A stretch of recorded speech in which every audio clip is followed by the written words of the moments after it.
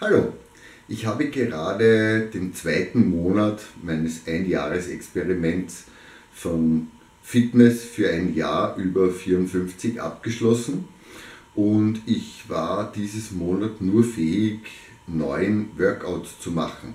Die Workouts findet ihr hier in dieser Playliste. Der Grund, warum ich nur diese neun Workouts gemacht habe, beziehungsweise in Wirklichkeit habe ich zehn Workouts gemacht.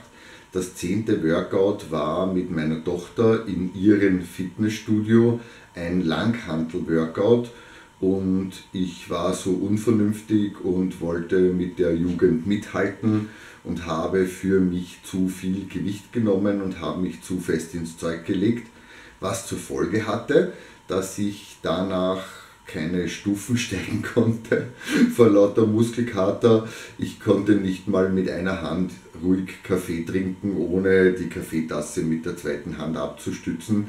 Also ich hatte einen Muskelkater so in diesem Ausmaß hatte ich ihn schon jahrelang nicht mehr. Und ich werde das auch in Zukunft sicher nicht mehr so machen.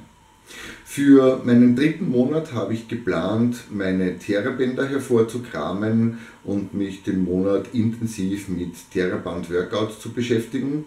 Und ich hoffe, ich kann den einen oder anderen oder die eine oder andere davon überzeugen, auch etwas für ihren Körper zu tun und ihr macht mit.